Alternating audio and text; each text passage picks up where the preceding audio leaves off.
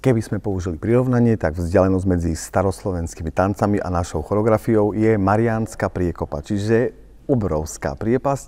lebo keďže aj vizuálne, aj režijný koncept je dosť taký progresívny, tak my sme rovnako pristupovali, že máme takú multižánrovosť, objavia sa aj street dancové, dokonca sme zabrdli aj do tancov iných národov, ale zistili sme, že afro a pohánska hudba idú spolu ako